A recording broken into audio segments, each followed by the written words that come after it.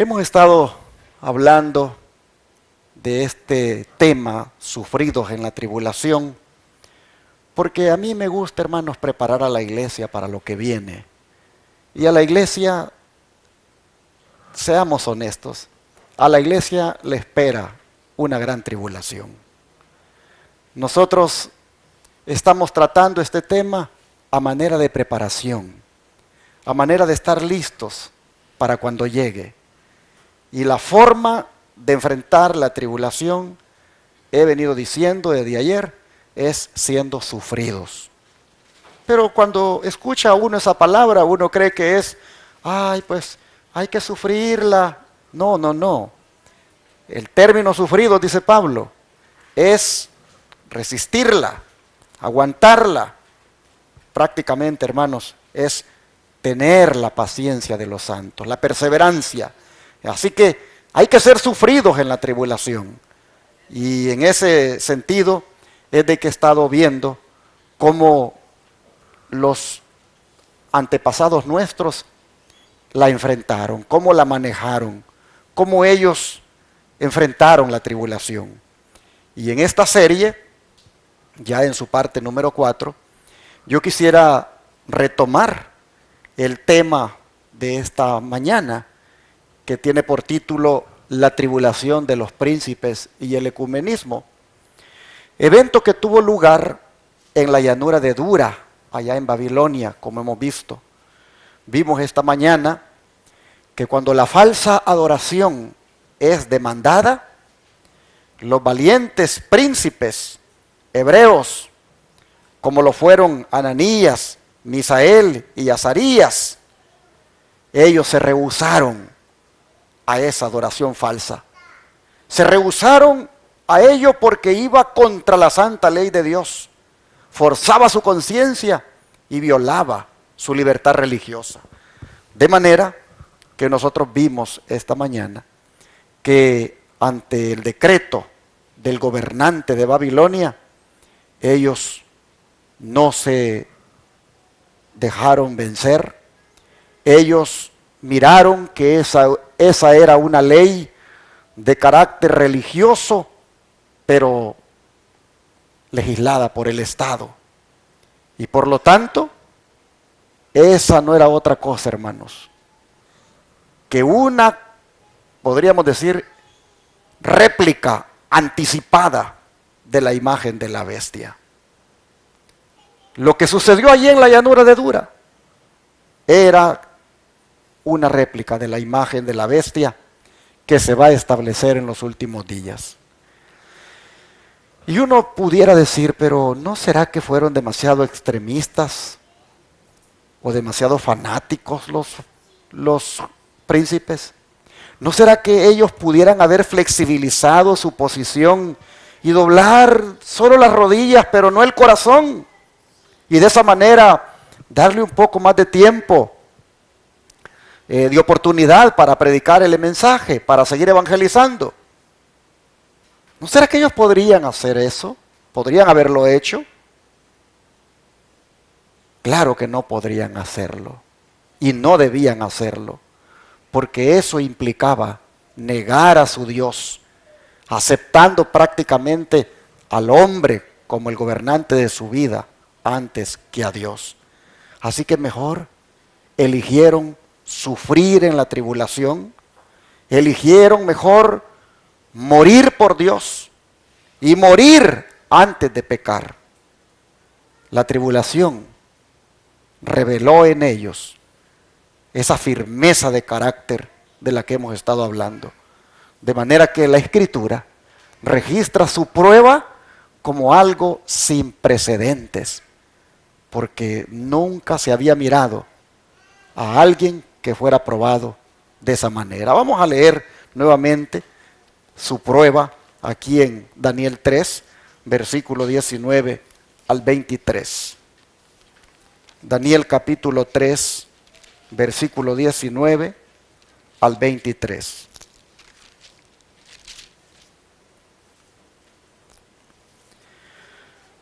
Dice que Nabucodonosor entonces se llenó de ira Y se demudó el aspecto de su rostro contra Sadrach, Mesach y Abednego. Y ordenó que el horno se calentase siete veces más de lo acostumbrado. Y mandó a hombres muy vigorosos que tenía en su ejército que atasen a Sadrach, Mesach y Abednego para echarlos en el horno de fuego ardiendo. Entonces estos varones fueron atados con sus mantos, sus calzas, sus turbantes y sus vestidos, y fueron echados dentro del horno de fuego ardiendo. Y como la orden del rey era apremiante y lo habían calentado mucho, la llama del fuego mató a aquellos que habían alzado a Sadrach, Mesach y Abednego. Y estos tres varones, Sadrach, Mesach y Abednego, cayeron atados dentro del horno de fuego ardiendo. Dije que esta es una prueba sin precedentes, una tribulación sin precedentes, porque no tenemos en la historia que hijos de Dios hayan pasado antes por esa prueba. Aquí nosotros, hermanos, vemos hasta dónde se vuelve de implacable la dureza de un hombre controlado por Satanás. Poco significó para Nabucodonosor ver morir a los hombres en formas tan horribles. Sin embargo, vino lo inesperado para él, porque cuando pensó que serían consumidos en el acto, miró algo especial. Versículo 24 y 25. Dice, entonces el rey Nabucodonosor se espantó y se levantó apresuradamente y dijo a los de su consejo, ¿no echaron a tres varones atados dentro del fuego? Ellos respondieron al rey, es verdad, oh rey. Y él dijo, he aquí yo veo cuatro varones sueltos que se pasean en medio del fuego sin sufrir ningún daño. Y el aspecto del cuarto es semejante al Hijo de los dioses. Ah, hermanos y hermanas, Nabucodonosor está sorprendido porque lanzó a tres y ahora ve a cuatro. Mira un cuarto personaje que se pasea con los otros tres. ¿Quién era él, hermanos? El don de profecía dice en el manuscrito 47 del año 1898 que cuando la prueba de fuego sobrevino a los que no doblarían su rodilla a esa imagen idolátrica, Cristo mismo caminó en el horno de fuego con sus fieles siervos, con sus tres fieles siervos. El corazón de Nabucodonosor quedó tan conmovido por este maravilloso milagro que él reconoció a Dios y su poder superior. Amén. Oh, hermanos, miren ustedes. Cristo caminó en el horno de fuego. Qué hermoso, hermanos. Así que Dios nunca desampara a sus hijos. Y Dios nunca va a desamparar a ninguno de nosotros en medio de la tribulación. Hermanos y hermanas, en el horno de fuego por el cual estemos pasando, el Señor va a caminar con nosotros. Vale la pena obedecer a Dios.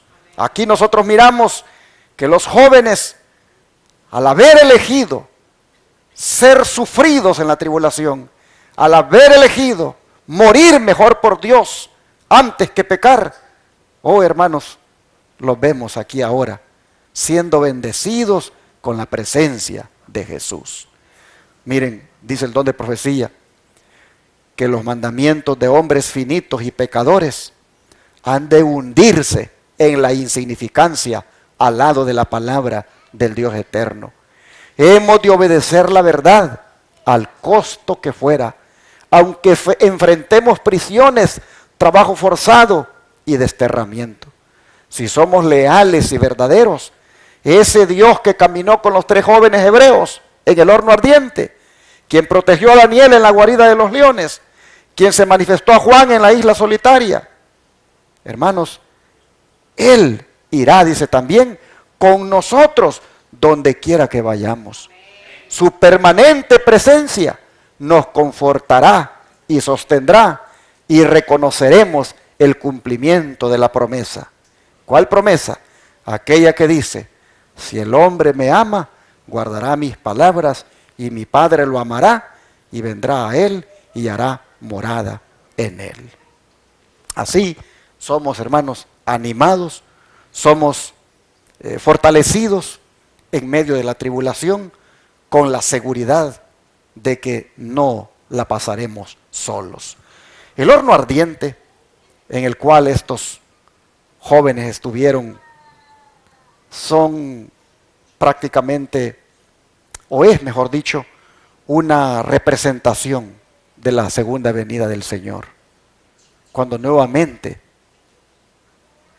usted va a poder caminar por el fuego y no se va a quemar. Mire lo que dice el don de profecía. En el día de su advenimiento se oirá la última gran trompeta y se producirá un terrible temblor que sacudirá la tierra y el cielo. La tierra entera, desde los montes más encumbrados hasta las minas más profundas, escuchará. El fuego lo penetrará todo. La atmósfera viciada será purificada por el fuego. Habiendo cumplido el fuego su misión, los muertos que han yacido en sus tumbas se levantarán. Algunos para resurrección de vida serán tomados para encontrarse con el Señor en el aire y otros para que observen la venida de aquel a quien despreciaron y al que ahora reconocen como juez de toda la tierra. Va a haber fuego, hermanos. Las llamas, dice, no tocan a ninguno de los justos. Y aquí está lo que les digo. Pueden caminar por el fuego como Sadrach, Mesach y Abednego en medio del horno calentado siete veces más de lo que se acostumbraba a hacerlo. Los héroes hebreos no pudieron ser consumidos porque la presencia del cuarto, el Hijo de Dios, estaba con ellos. Por consiguiente, en el día del Señor, el humo y las llamas no tendrán poder para dañar a los justos. Amén. Los que estén unidos al Señor escaparán ilesos. Terremotos, huracanes, fuego e inundaciones no pueden dañar a quienes están preparados para encontrarse con su Salvador en paz.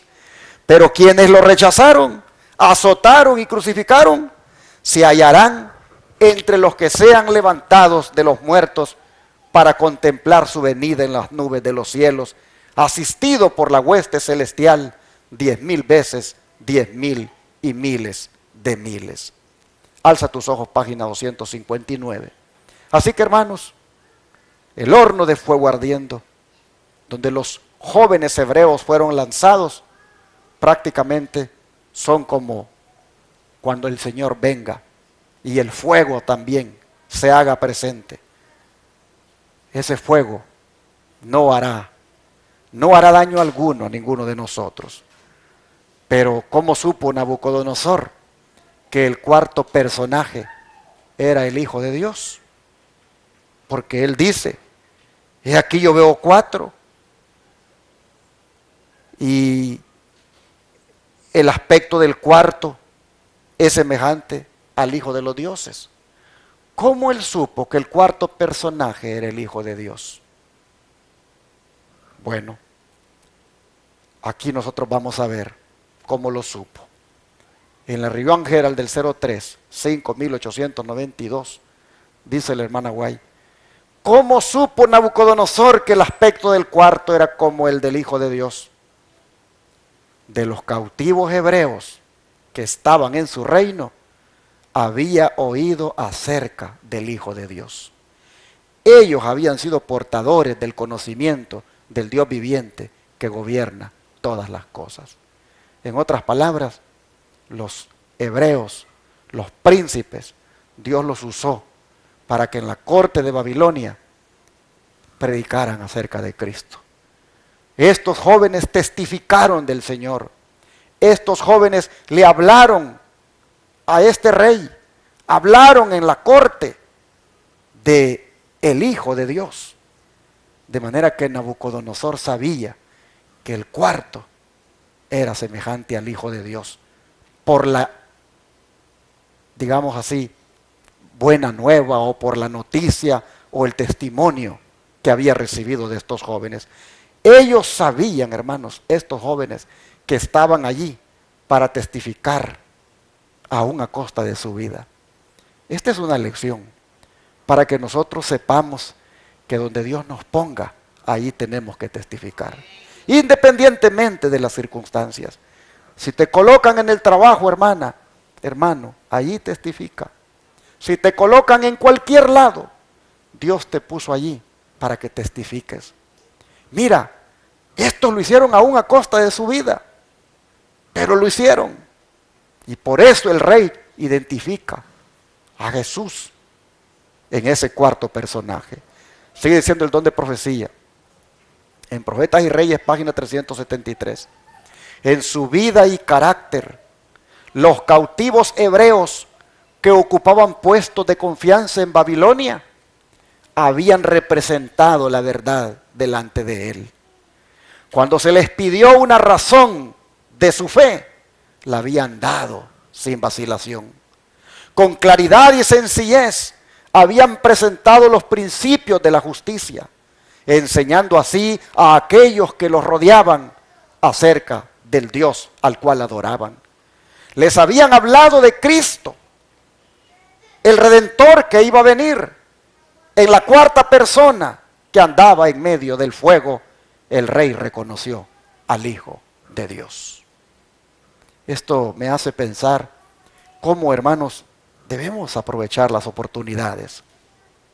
Una sola vez puede ser que tengamos la oportunidad con tal o cual persona y no la debemos dejar pasar. ¿Cuántas oportunidades hemos perdido? ¿Con cuántas personas nos hemos relacionado y no hemos dado a conocer el mensaje? ¿Cuántos a lo mejor hasta hemos trabajado para personas pudientes, para personas que tienden a ser importantes en la sociedad y solamente les hemos trabajado en lo material, pero no hemos hablado, no hemos dado a conocer el mensaje. Hermanos, aprendamos de los jóvenes hebreos que en medio de todo lo que estaban pasando, ellos predicaron, ellos proclamaron, ellos hablaron de Jesús. Jóvenes, exalten a Jesús. Jóvenes, aprovechen la oportunidad con sus compañeros de escuela, de trabajo, amigos. Aprovechen y den a conocer a Cristo. Hablen de lo que ustedes conocen. Prediquen el mensaje. Hermanos, el tiempo se acaba y debemos predicar con intensidad, sin parar. Debemos aprovechar las oportunidades. No debemos parar debemos aprovechar la vida que tenemos para dedicarla al servicio de Dios. Miren, ahora vino la victoria. La victoria para estos muchachos. Pues dicen los versículos 26 al 29. Entonces Nabucodonosor se acercó a la puerta del horno de fuego ardiendo y dijo, Sadrach, Mesach y Abednego, siervos del Dios Altísimo, salid y venid. Entonces Sadrach, Mesach y Abednego salieron de en medio del fuego. Y se juntaron los sátrapas, los gobernadores, los capitanes y los consejeros del rey para mirar a estos varones, como el fuego no había tenido poder alguno sobre sus cuerpos, ni aun el cabello de sus cabezas se había quemado sus ropas estaban intactas y ni siquiera olor de fuego tenían. Entonces Nabucodonosor dijo, bendito sea el Dios de ellos, de Sadrach, Mesach y Abednego, que envió su ángel y libró a sus siervos que confiaron en él, y que no cumplieron el edicto del rey y entregaron sus cuerpos antes que servir y adorar a otro Dios que su Dios. Por lo tanto, decreto que todo pueblo, nación o lengua que dijere blasfemia contra el Dios de Sadrach, Mesach y Abednego, sea descuartizado y su casa convertida en muladar, por cuanto no hay Dios que pueda librar como este. Amén, hermanos. ¿Qué les parece? Qué victoria la que alcanzaron estos jóvenes. Cómo es impresionante el relato. Me gusta la declaración siervo del Dios Altísimo, porque reconoció que sobre todos los dioses solo hay uno y es Jehová de los ejércitos. Reconoció que Dios es el alto, el alto, el altísimo. Me gusta esa declaración porque reconocía que Dios es supremo sobre todos los ídolos, sobre todos los dioses. Pero también me gusta la declaración de ellos cuando dice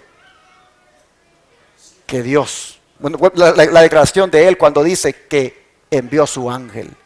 Porque en esa declaración envió su ángel, allí hermanos, él está reconociendo a Cristo como el ángel de Jehová.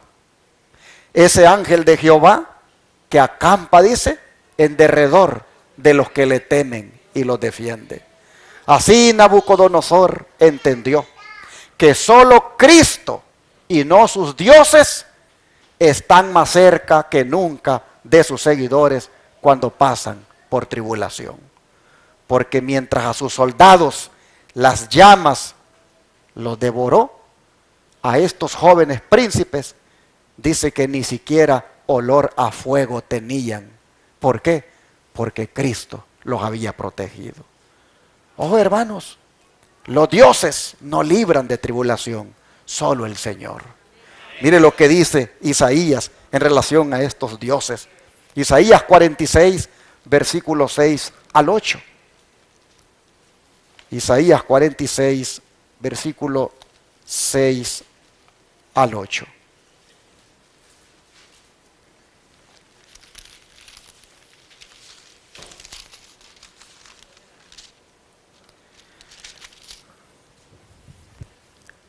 Dice,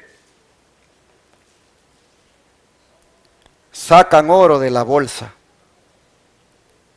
y pesan plata con balanzas. Alquilan un platero para hacer un dios de ellos. Se postran y adoran. Se lo echan sobre los hombros, lo llevan y lo colocan en su lugar. Allí se está y no se mueve de su sitio.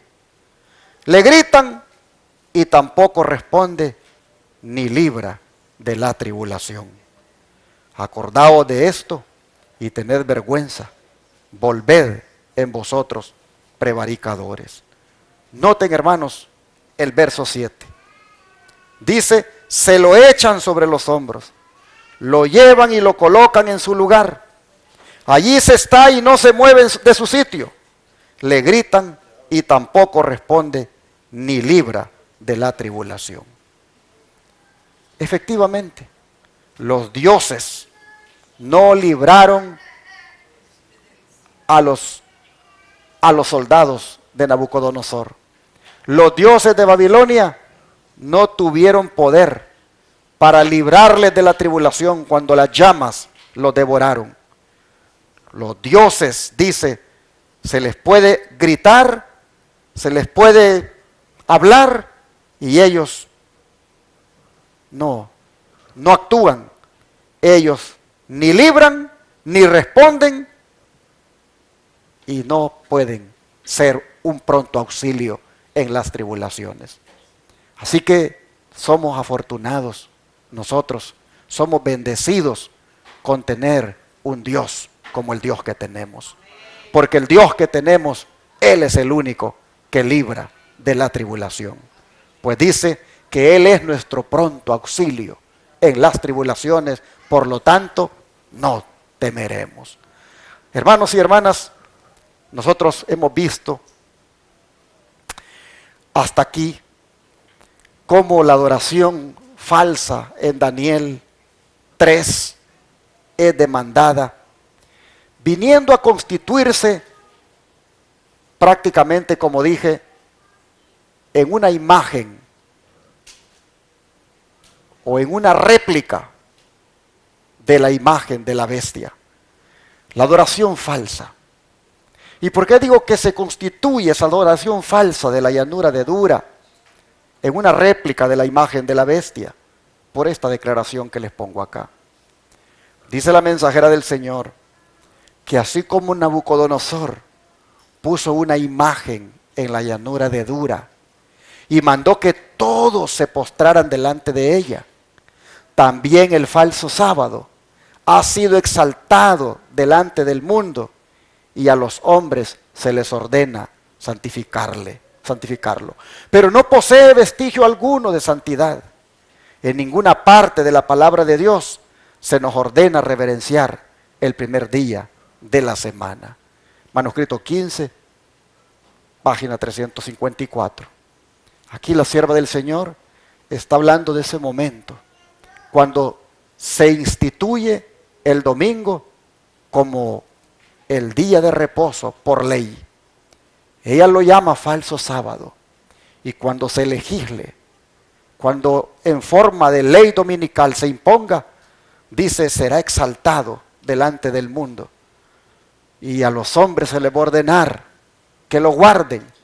Pero eso no será, dice, sino una cosa igual a lo que Nabucodonosor hizo con la imagen en la llanura de Dura. Nosotros sabemos que quien hará esto es la imagen de la bestia. Así como la imagen de la bestia, uniendo iglesia con Estado, impondrán esta ley, así lo hizo Nabucodonosor. La historia se repetirá. El sábado del cuarto mandamiento será invalidado por muchos que lo tratan como algo baladí mientras que ensalzan el falso día de reposo, el día domingo, el hijo del papado. En lugar de las leyes de Dios, son ensalzadas las leyes del hombre de pecado, leyes que serán recibidas y obedecidas como lo fue por los babilonios la maravillosa imagen de Nabucodonosor. Al levantar esa gran imagen, Nabucodonosor ordenó que debían recibir el homenaje universal de todos, tanto grandes como pequeños, encumbrados y humildes, ricos y pobres. Y esto, hermanos, es lo mismo que hará la imagen de la bestia. Así que tenemos en la llanura de Dura una réplica anticipada de lo que la imagen de la bestia hará. La historia se repetirá. Dice la sierva del Señor, la historia volverá a repetirse. La religión falsa será exaltada. El primer día de la semana, día común de trabajo, sin ningún atisbo de santidad, será exaltado como lo fue la imagen en Babilonia.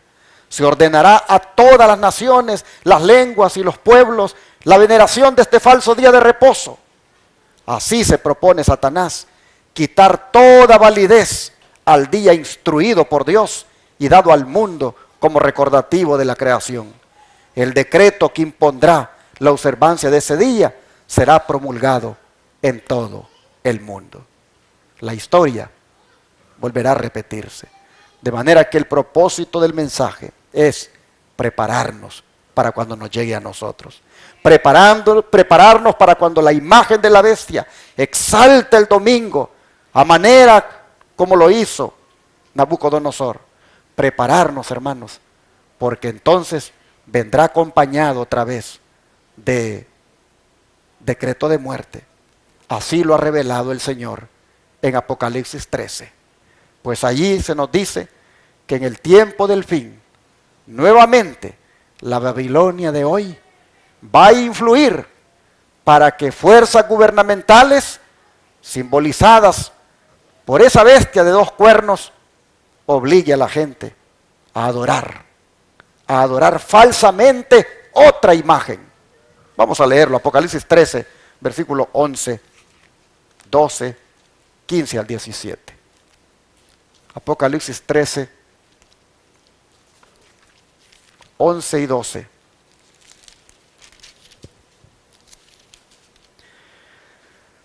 Después vi otra bestia que subía de la tierra y tenía dos cuernos semejantes a los de un cordero, pero hablaba como dragón.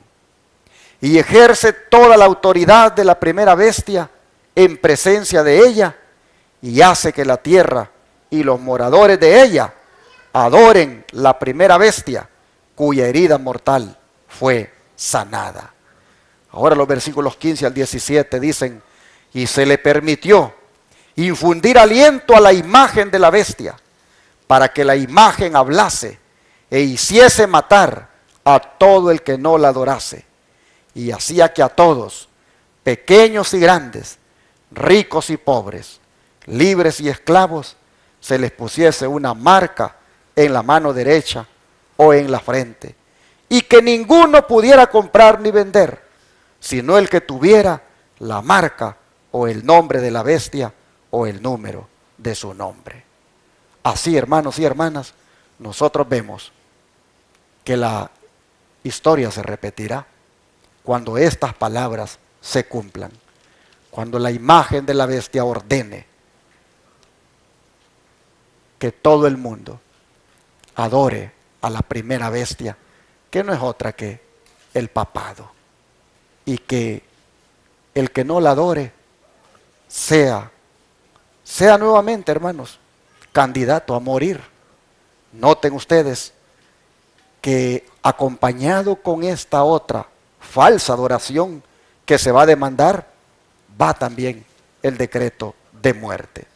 Esta bestia de dos cuernos, que es un símbolo de los Estados Unidos, se va a encargar de repetir la historia de Nabucodonosor, al obligar a la gente a adorar otra imagen. ¿De qué manera lo hará? Imponiendo la famosa marca de la bestia, la cual consiste en el domingo. La mensajera del Señor, hablando de eso, dice, en conflicto inminente, página 60, la profecía del capítulo 13 del Apocalipsis declara que el poder representado por la bestia de cuernos semejantes a los de un cordero haría que la tierra y los que en ella habitan adorasen al papado que está simbolizado en ese capítulo por una bestia. Parecida a un leopardo, la bestia de dos cuernos dirá también a los que habitan sobre la tierra que hagan una imagen de la bestia y además mandará que todos, pequeños y grandes, así ricos como pobres, así libres como esclavos, tengan la marca de la bestia. Se ha demostrado que los Estados Unidos de Norteamérica son el poder representado por la bestia de dos cuernos semejantes a los de un cordero y que esta profecía se cumplirá cuando los Estados Unidos hagan obligatoria la observancia del domingo que Roma declara ser el signo característico de su supremacía. Pero los Estados Unidos no serán los únicos que rindan homenaje al papado. La influencia de Roma en los países que en otro tiempo reconocían su dominio dista mucho de haber sido destruida. Y la profecía predice la restauración de su poder. Pues dice, vi una de sus cabezas como si hubiera sido herida de muerte y su herida mortal fue sanada.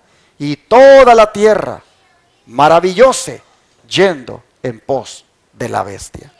Así que hermanos, es cuestión de tiempo para que estas palabras se cumplan.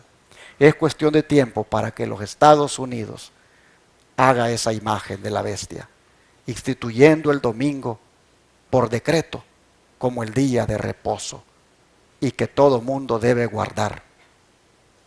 De lo contrario, va a morir. Es cuestión de tiempo. La tribulación, hermanos y hermanas, nos va a llegar a nosotros, querámoslo o no. Ay, dicen algunos, por eso vámonos de los Estados Unidos, porque no queremos estar aquí cuando eso suceda. Bueno, hermanos, es que esto se va a regar en todo el mundo. Y aunque te vayas de los Estados Unidos, donde quiera, la tribulación te va a alcanzar. Pero nosotros vemos que para eso estamos ahora estudiándolo, para que nos alistemos espiritualmente para cuando llegue Hermanos, surge la pregunta en esta hora.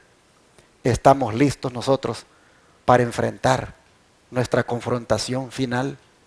¿Estamos listos nosotros para enfrentar esa tribulación que nos espera? En los tiempos de los tres hebreos, ellos estuvieron listos. Cuando lo que estuvo en juego fue la ley de Dios, ellos se pusieron de parte de Dios. Pues el decreto estipulaba para ellos adorar un, ídolo yendo en contra de la santa ley de Dios. Especialmente en ese segundo mandamiento que prohíbe adorar imágenes. Pero a nosotros, en la crisis final que se nos avecina, hermanos, lo que va a estar en juego con nosotros será el cuarto mandamiento de la santa ley de Dios que nos manda a guardar el sábado. Y cuando eso suceda, hermano, ¿qué vas a hacer tú?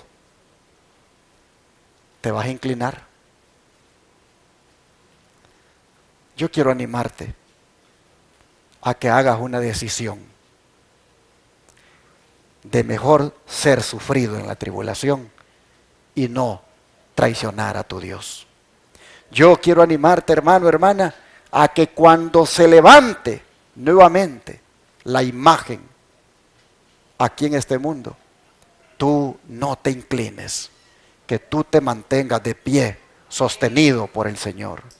Yo quiero animarte a que no le tengas temor a la tribulación, porque recuerda que pase lo que pase, el Señor va a estar contigo tal como estuvo con los tres hebreos. Recuerda la promesa del Señor que dice, cuando pases por las aguas, yo estaré contigo. Y si por los ríos, no te anegarán. Cuando pases por el fuego, no te quemarás, ni la llama arderá en ti. Así Isaías, Isaías 43, 2. Así que hermanos, yo quiero con este mensaje dejar establecido en cada una de sus mentes que hay que ser sufridos en la tribulación, porque en la tribulación el Señor nunca nos abandona. Es más, mira lo que dijo Job. Vamos aquí al libro de Job, capítulo 5, versículos 19 al 24. Qué hermosas palabras las que dice este patriarca. Job capítulo 5, versículo 19 al 24.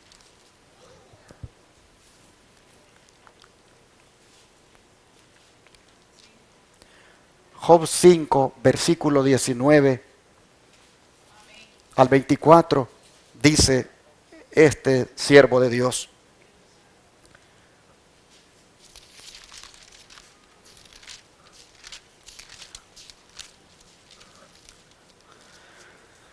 Dice, en seis tribulaciones te librará y en la séptima no te tocará el mal.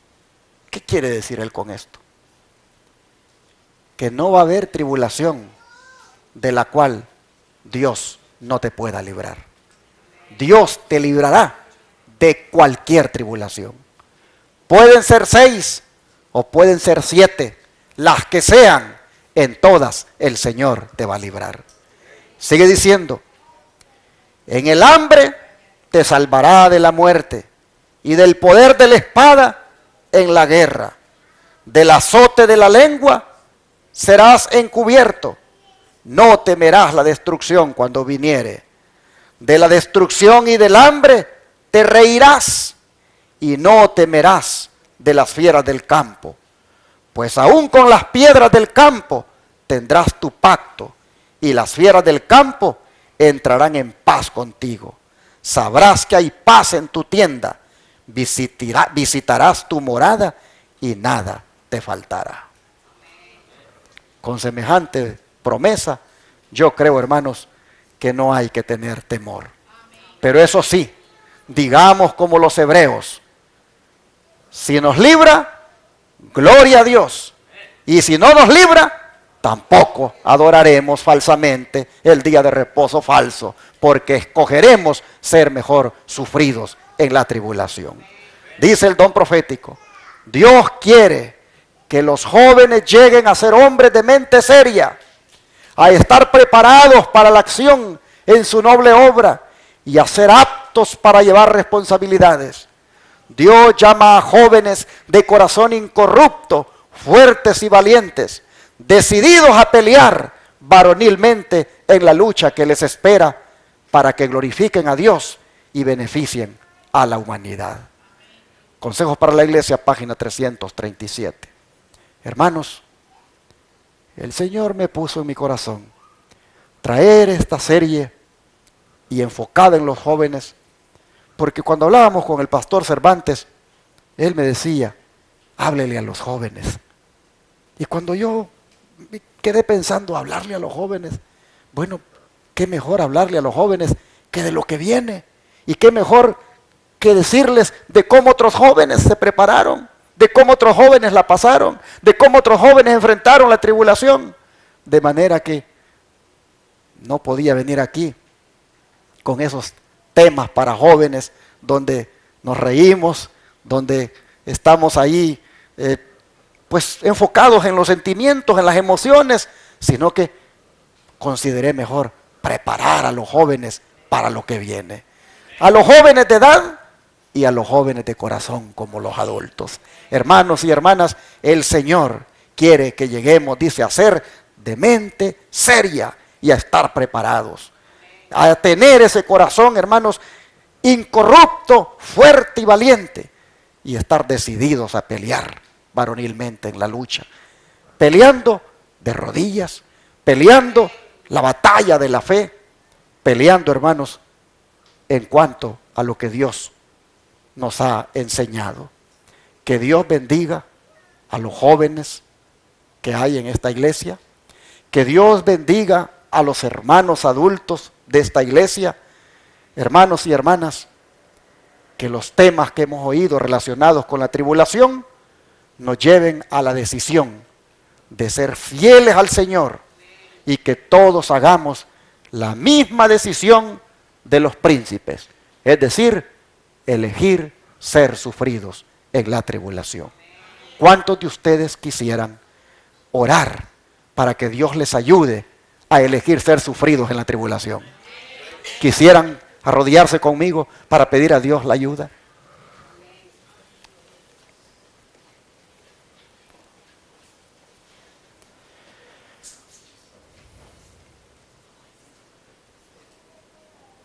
Padre Celestial, nosotros hemos visto, Señor, desde anoche, cómo debemos estar preparados y listos para la tribulación que nos espera.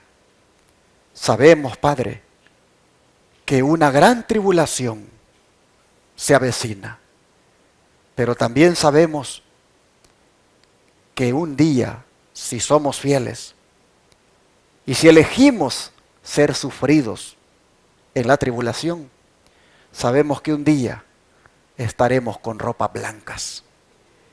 Y cuando se pregunte quiénes son estos de ropas blancas y de dónde han salido, oh Señor, poder escuchar esas palabras que dicen, estos son los que han salido de la gran tribulación. Lavaron sus vidas en la sangre del Cordero fueron fieles y por eso están aquí. Señor, te rogamos que finalmente nosotros seamos liberados. Nosotros seamos, Señor, nuevamente, como los príncipes hebreos, seamos nuevamente acompañados por ti en la tribulación. Te rogamos, Padre, que ninguno de nosotros te vaya a fallar, que ninguno de nosotros se vaya a cobardar, que ninguno de nosotros, cuando vea ese decreto de muerte, cuando vea que no podrá comprar ni vender, a menos que tenga esa marca de la bestia, como es el falso día de reposo, que ninguno de nosotros, Señor, se vaya a amedrentar y que más bien elijamos como los príncipes hebreos mantenernos del lado de la verdad. Ayúdanos, Padre, provéete de nosotros, soldados varoniles, soldados henchidos de valor. Provéete de nosotros, oh Señor, esos jóvenes, esos hermanos que testificarán en la última hora con denuedo. Padre, nos encomendamos en tus manos y rogamos que nos llene de valor, que nos llene de fe, para que cuando la tribulación llegue, permanezcamos firmes en tus caminos. Te lo pedimos en el nombre de Jesús. Amén. ¿Qué les parece si cantamos nuevamente el himno en la mansión de mi Señor? Puesto de pie el himno 314. Himno 314.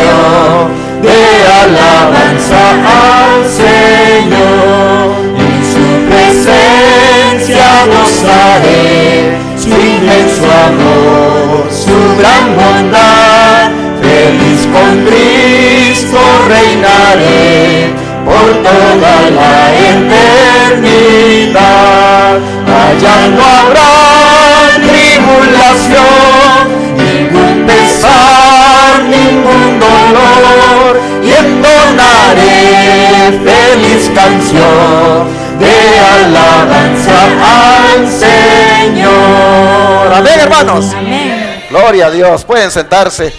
Quiero leerles aquí de la palabra de Dios en Apocalipsis 7, si pueden abrir el versículo 13 y 14, que está tan relacionado con ese himno que entonamos.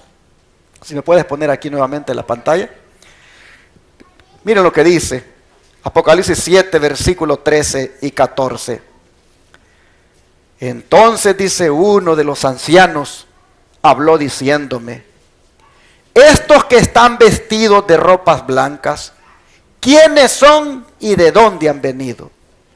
Yo le dije, Señor, tú lo sabes. Y él me dijo, estos son los que han salido de la gran tribulación y han lavado sus ropas y las han emblanquecido en la sangre del cordero. Oh hermanos y hermanas, noten ustedes, ¿a dónde van a terminar los que hayan salido de la gran tribulación? ¿A dónde van a terminar? En el reino de los cielos, vestidos con ropas blancas. Miren ustedes, han emblanquecido, dice, sus ropas en la sangre del cordero. Yo creo, hermanos, que esto nos debe motivar a nosotros a salir victoriosos, a predicar el mensaje sin temor. Dice el conflicto de los siglos, una cita que tengo acá. En todo tiempo, los elegidos del Señor fueron educados y disciplinados en la escuela de la prueba. Lo hemos visto. con los jóvenes hebreos. Por causa de Jesús sufrieron oposición, odio y calumnias. Le siguieron a través de sus luchas dolorosas.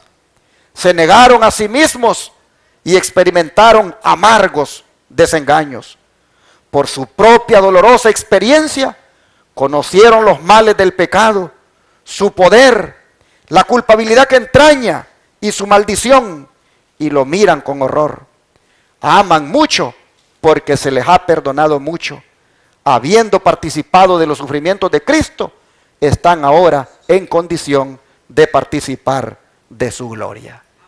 Pues dice el versículo 15, por esto están delante del trono de Dios y le sirven día y noche en su templo. Y el que está sentado sobre el trono extenderá su tabernáculo sobre ellos. Ya no tendrán hambre ni sed, y el sol no caerá más sobre ellos, ni calor alguno, porque el cordero que esté en medio del trono los pastoreará y los guiará a fuente de agua de vida, y Dios enjugará toda lágrima de los ojos de ellos.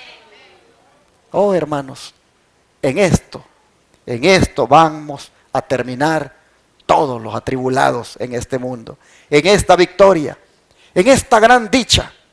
Yo creo, hermanos, que cuando estemos aquí, vamos a ver que todo aquello que sufrimos, todas aquellas pruebas, realmente no fueron nada. Con este eterno peso de gloria, como el apóstol Pablo le llama, a la bendición, hermanos, nosotros miraremos que no pasamos realmente por cosas tan difíciles cuando ya veamos lo más grande que tendremos y que disfrutaremos. Estos son los que han salido de la gran tribulación. ¿Cuál tribulación? La tribulación que hará la bestia y su imagen sobre el pueblo de Dios. Yo quiero ahora hablarles en los pocos minutos que nos quedan sobre un compañero de tribulación que también es un ejemplo. Si Daniel y sus compañeros fueron un ejemplo, Juan, él no se queda atrás. Mire lo que dice la escritura en Apocalipsis 1, versículo 9. Apocalipsis 1, verso 9. Dice, yo Juan vuestro hermano, y copartícipe vuestro, ¿en qué cosa hermanos? En la tribulación, en el reino y en la paciencia de Jesucristo. Estaba en la isla llamada Patmos por causa de la palabra de Dios y el testimonio de Jesucristo. Miren ustedes, ¿a dónde estaba? En esa isla llamada Patmos no estaba de turista, estaba allí exiliado. Estaba allí, hermanos, por la fuerza. Prácticamente lo, lo quitaron de su lugar donde él disfrutaba con los hermanos. Lo separaron de sus parientes, lo separaron de sus amigos y prácticamente lo mandaron allí en forma de castigo para que muriera de soledad. Pero vean ustedes, él dice, estuve allí por causa de Jesucristo. Estuve allí por el testimonio. Estuve allí por causa de la palabra del Señor. Por eso estuve allí experimentando esa tribulación. Este Juan no es otro que el discípulo amado de Jesús, aquel que se reclinaba en su pecho, es decir, uno de los doce apóstoles. Muy amigo de Jesús fue, muy en el pecho de Jesús se reclinó. Sin embargo, Jesús no le impidió y no le evitó que pasara por tribulación. Porque el Señor no le ha prometido a nadie que no va a pasar por pruebas o que no va a pasar por tribulación. No le ha prometido nada de eso el Señor. Solo ha prometido que en medio de la prueba y en medio de la tribulación, Él nos va a acompañar. Así que hermanos, Juan, miren ustedes cómo se identifica. Él se identifica como hermano y compañero en la tribulación. Entendiendo este término, tribulación, como las penas y aflicciones que sufría. Y al decir que es hermano y compañero, uno se pregunta, ¿hermano y compañero de quién? Bueno, tanto de los otros hermanos de la iglesia primitiva que sufrían con persecución como él, como también de nosotros, que está profetizado que igual vamos a padecer.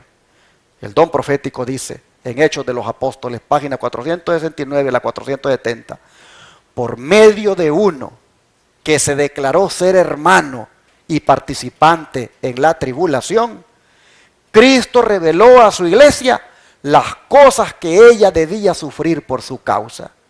Al penetrar con su vista a través de largos siglos de tiniebla y superstición, el anciano desterrado vio a multitudes sufrir el martirio por causa de su amor hacia la verdad.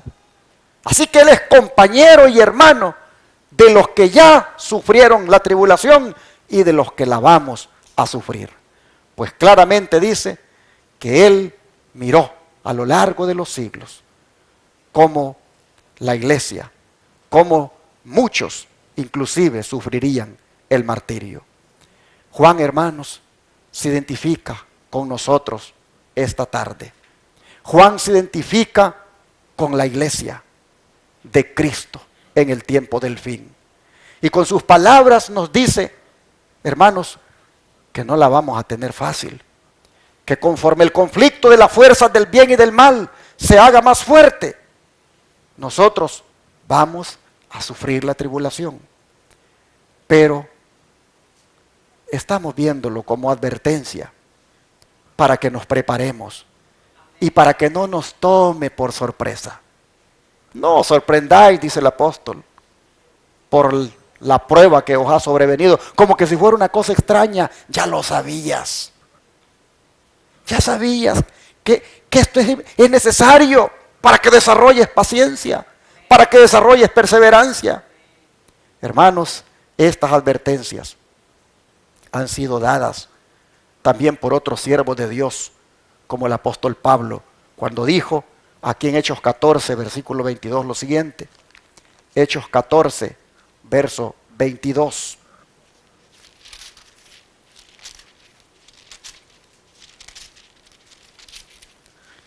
Hechos 14, verso 22. Dice, confirmando los ánimos de los discípulos, exhortándoles a que permanecieran en la fe y diciéndoles, es necesario que a través de muchas tribulaciones entremos en el reino de Dios. Aquel que quiera ir al cielo sin pasar por tribulaciones, no va a ir no va a ir, porque los que van a ir al cielo necesariamente tienen que pasar por tribulaciones. Es necesario, dice el apóstol, que se pase por tribulaciones. Pero miren ustedes, él dice que los exhortaba a que permanecieran firmes en la fe. Hermanos, eso es lo que, lo que toca, permanecer firmes en la fe. Estaba hablando con un hermano hace un rato y me dice, yo iba a su iglesia. Y entonces le digo, ¿y qué pasó? No, dice, ya no fui porque no me gustó que alguien allí me llamó la atención. ¿Y qué le dijeron? Pues yo, dice, acostumbraba a quitarme los zapatos en la iglesia.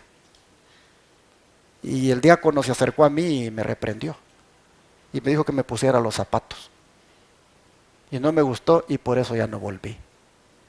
Hermanos, tan fácil abandonar la fe, tan delicados, que no podemos permitir que nadie nos dé un consejo, que nadie nos llame la atención y por eso abandonamos la fe.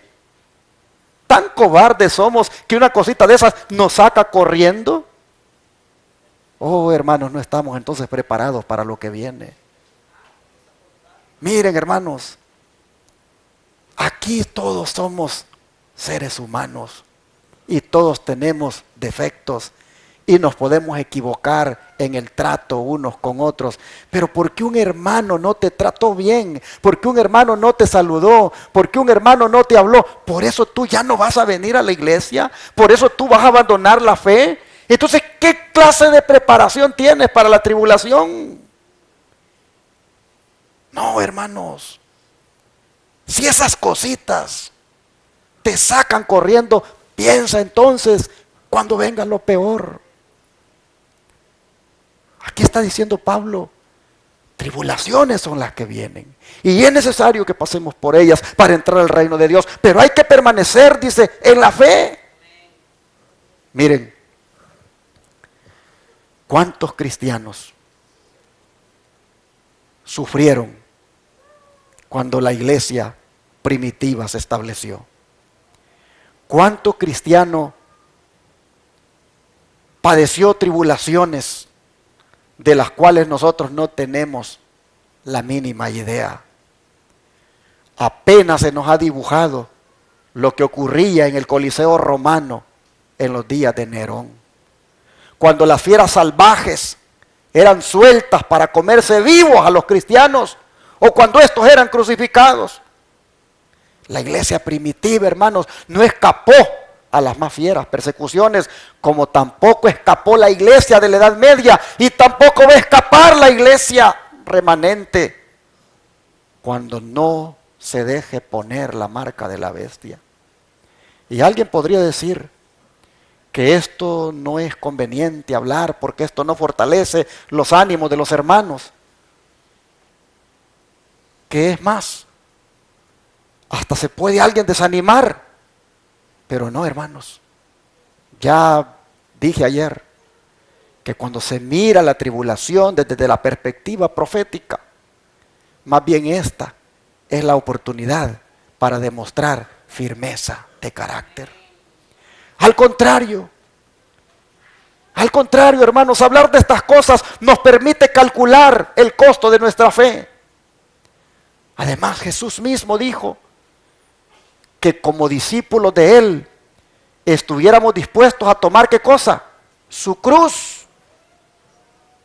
¿Y qué significa eso? Significa estar dispuestos al sacrificio. Significa estar dispuestos a morir si es posible. Hoy estamos aquí, hermanos, miren, tranquilos, adorando a Dios. No hay persecución, no se nos ha dado ni siquiera un empujón por predicar, mucho menos un golpe. Pero si entendiéramos lo que Jesús dijo, ¿qué quiso decirnos con eso de tomar la cruz? Hermanos, nos prepararíamos para lo que viene. No se nos olvide que habrá una furia contra el remanente, porque aquel sabe que le, le queda poco tiempo y ha descendido, dice, con grande ira. Oh, hermanos, no se nos olvide también lo que Pablo le dijo a Timoteo, que si sufrimos por él, también vamos a reinar por él. En otras palabras, habrá galardón. Juan, en su tribulación en Patmos, Dice que él estaba en esa isla por causa de la palabra de Dios y del, testimonio de Jesucristo. Es decir, Juan fue un testigo de Cristo. Fue un predicador de la verdad. Y eso era delito en aquel tiempo. Esos eran los días cuando gobernaba el emperador romano Domiciano y no había libertad religiosa. Pero aún así, Juan se atrevió a predicar. ¿Quiénes habían dado inicio a la tribulación de Juan? ¿Saben quiénes? Los mismos de su pueblo. Los mismos israelitas. Los que decían ser del pueblo profeso de Dios de aquellos días. Ellos mismos habían dado inicio a la tribulación. Porque ellos mismos lo habían acusado. Vean lo que es el don profético. Los gobernantes judíos estaban llenos de amargo odio contra Juan por su inmutable fidelidad a la causa de Cristo. Declararon que sus esfuerzos contra los cristianos no tendrían resultado mientras el testimonio de Juan repercutiera en los oídos del pueblo. Para conseguir que los milagros y enseñanzas de Jesús pudieran olvidarse, había que acallar la voz del valiente testigo. Con este fin, Juan fue llamado a Roma para ser juzgado por su fe. Allí delante de las autoridades, las doctrinas del apóstol fueron expuestas erróneamente. Testigos falsos le acusaron de enseñar herejías sediciosas con la esperanza de conseguir la muerte del discípulo. Juan se defendió de una manera clara y convincente y con tal sencillez y candor que sus palabras tuvieron un efecto poderoso. Sus oyentes quedaron atónitos ante su sabiduría y elocuencia. Pero cuanto más convincente era su testimonio, tanto mayor era el odio de sus opositores. El emperador Domiciano estaba lleno de ira. No podía refutar los razonamientos del fiel abogado de Cristo, ni competir con el poder que acompañaba su exposición de la verdad. Pero se propuso hacer callar su voz. Hechos de los Apóstoles, página 455. Oh, hermanos, aquí nosotros vemos que el árbol seco está experimentando lo mismo que hicieron con el árbol verde, es decir, Jesús nuestro Señor. Noten, la persecución dio inicio por parte de los mismos paisanos judíos de Juan. Fueron ellos los que lo entregaron a las autoridades romanas, igual como hicieron con Jesús. Pero a Juan esto no lo tomó por sorpresa, pues su maestro ya se lo había advertido. Leamos en Marcos capítulo 13, verso 9. Marcos capítulo 13, verso 9.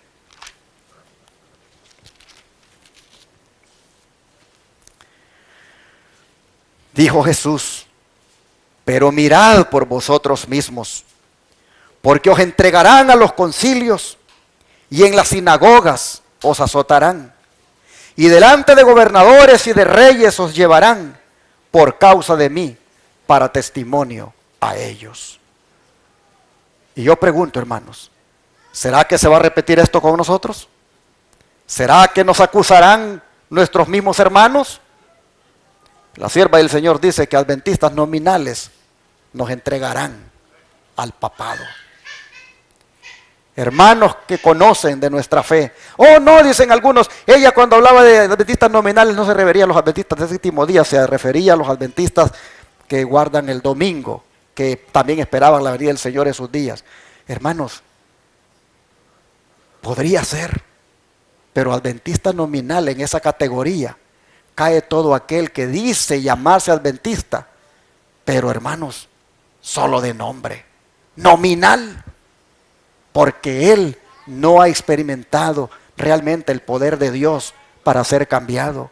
Él todavía sigue siendo el mismo y por lo tanto eso dice, nos van a acusar. Mire, se lo pongo acá. Yo vi, dice, que la iglesia nominal y los adventistas nominales como Judas nos entregarán a los católicos para obtener su influencia, para luchar contra la verdad. Los santos serán entonces un pueblo oscuro, poco conocido para los católicos, pero las iglesias y los adventistas nominales que conocen nuestra fe y costumbres, porque ellos nos odiaron a causa del sábado ya que no pudieron refutarlo, traicionarán a los santos y los denunciarán a los católicos como los que desprecian las instituciones del pueblo. Es decir, que ellos guardan el sábado y desprecian el domingo. Así se lo dijo la sierva del Señor en esa, así lo dice en esa colección de Spalding Magan Collection. Hermanos, los adventistas nominales están en todas partes, aún en la iglesia adventista del séptimo día. Es más, aún aquí entre nosotros pueden estar los adventistas nominales. Repito, si usted solo es de nombre, pero su vida, hermano, sigue siendo la misma.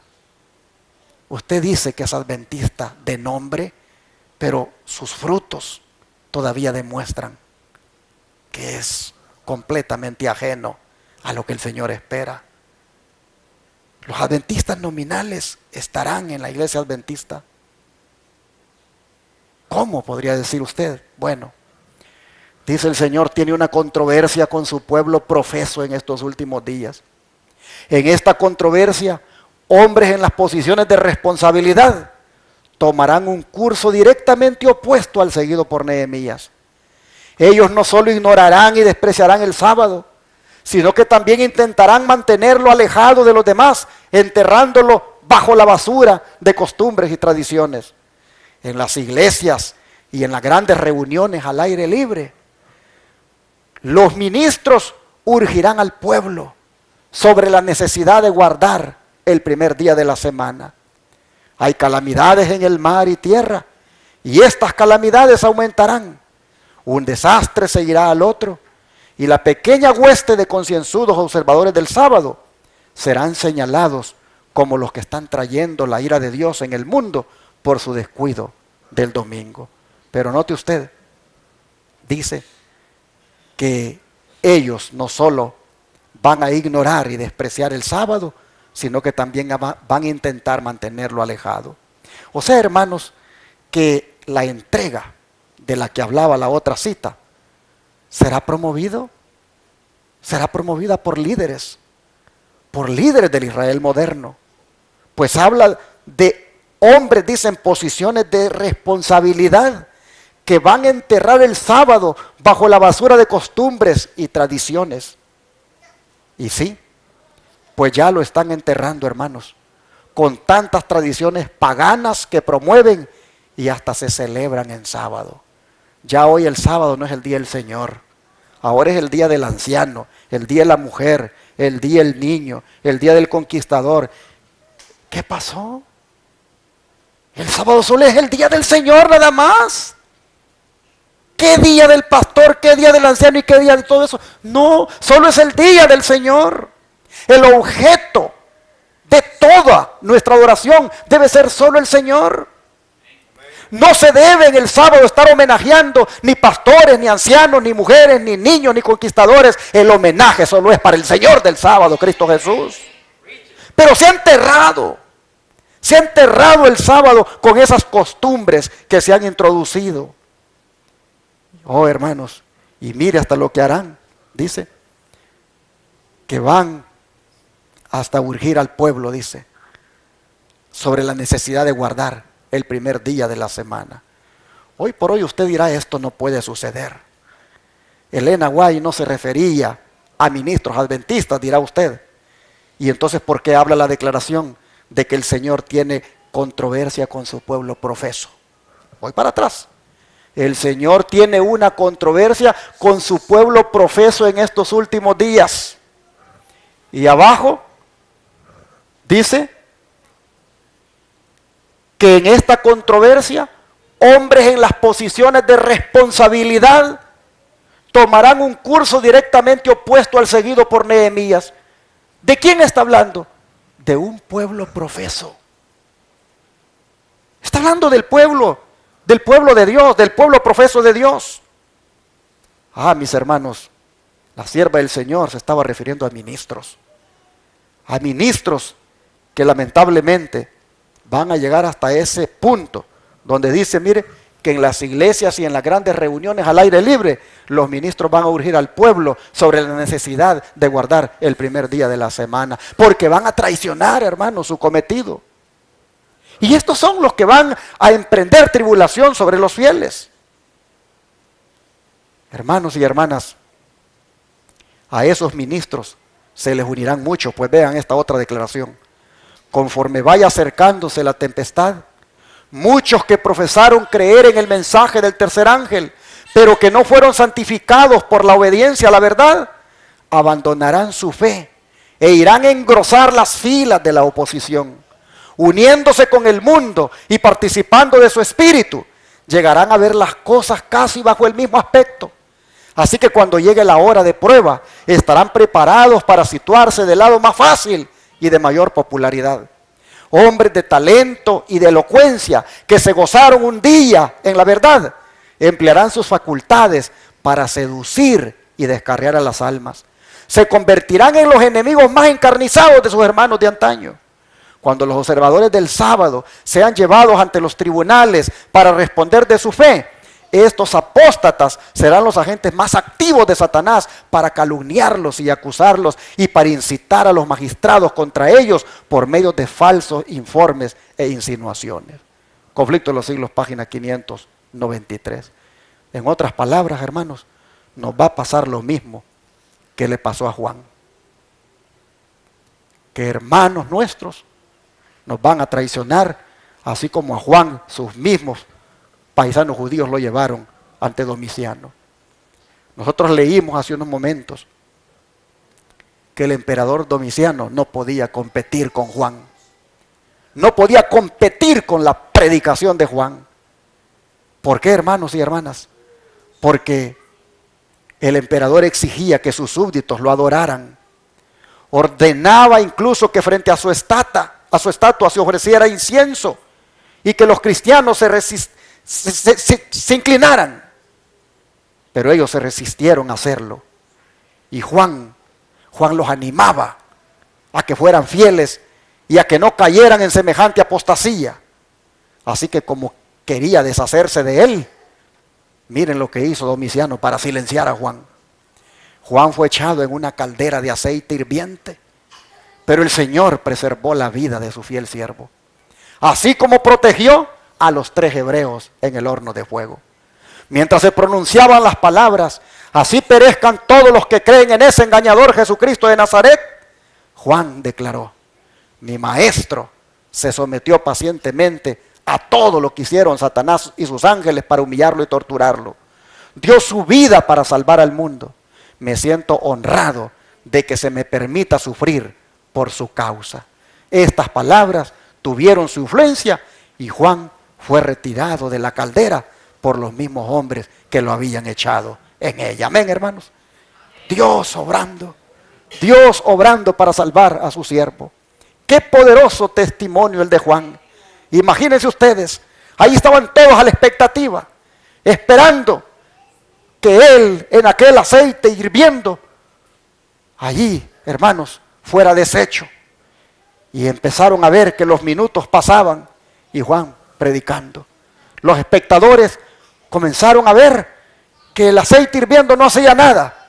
¿Por qué? Porque un milagro estaba ocurriendo. Se cumplió la promesa que leímos hace unos momentos de Isaías 43.2. Oh, qué hermosa promesa. Y como Domiciano no pudo callar aquella voz disidente y reprensora, miren lo que hizo.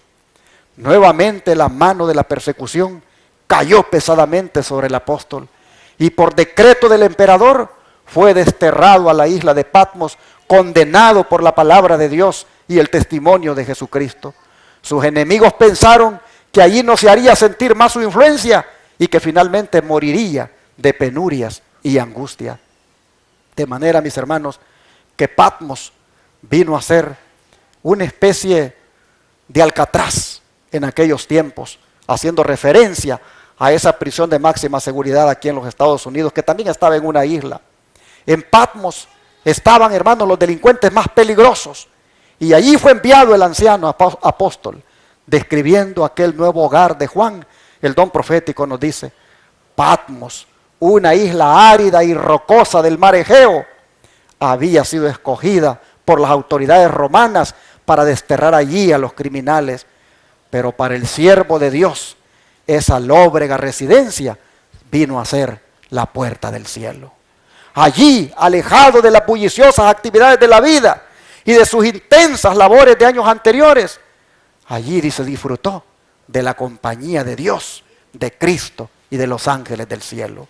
Y de ellos recibió instrucciones para guiar a la iglesia de todo tiempo futuro. Le fueron bosquejados los acontecimientos que se verificarían en las últimas escenas de la historia del mundo.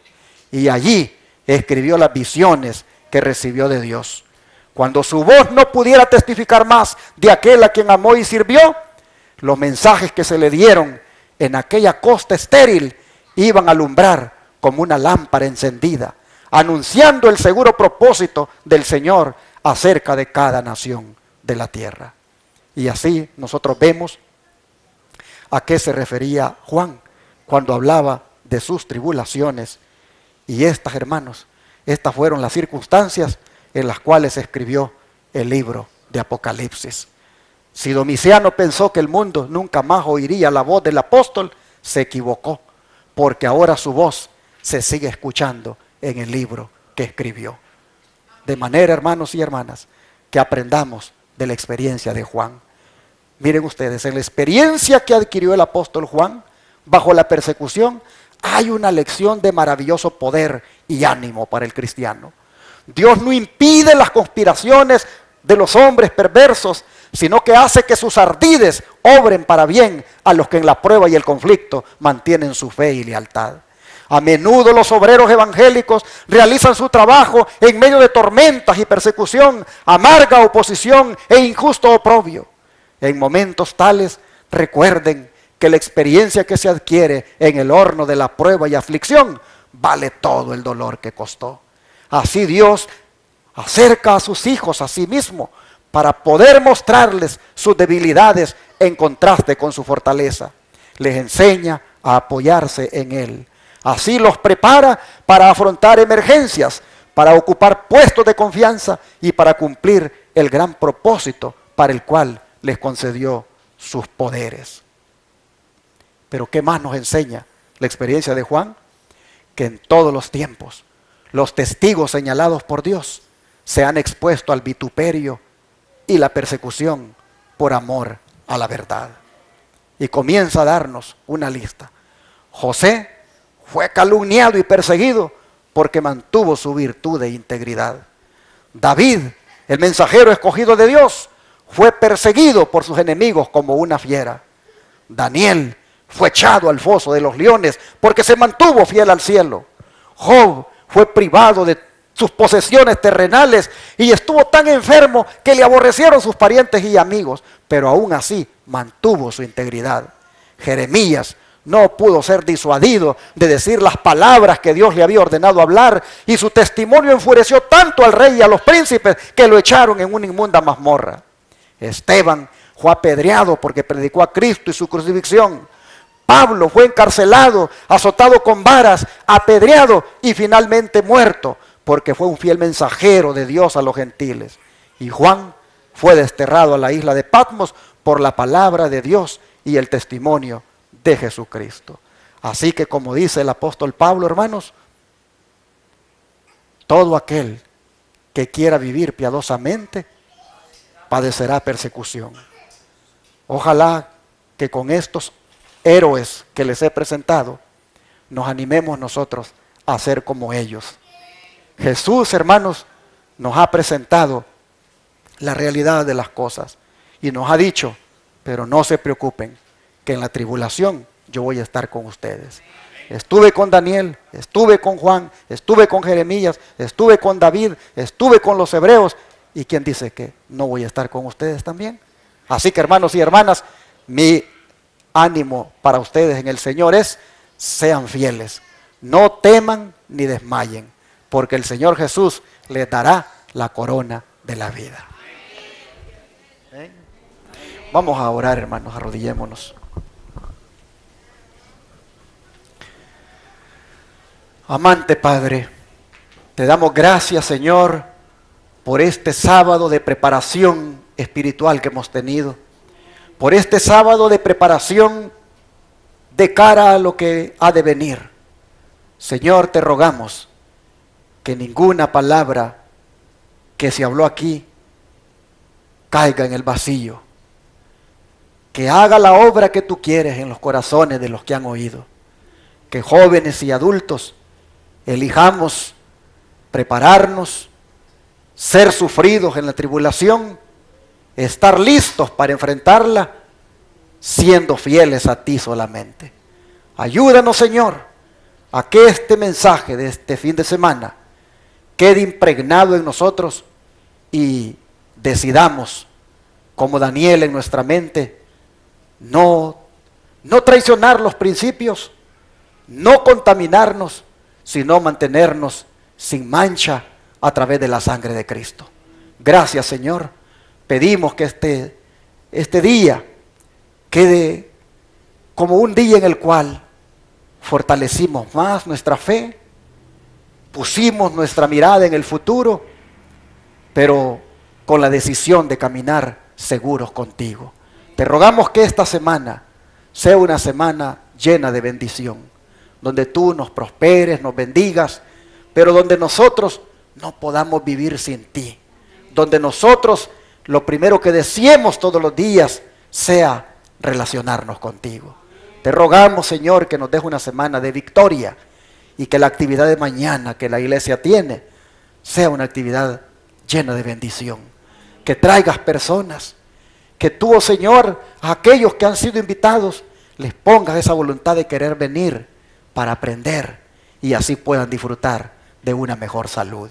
Gracias Señor, bendice la iglesia, bendice los planes de la iglesia, bendice a cada hermano y haz que todos perseveremos en la fe.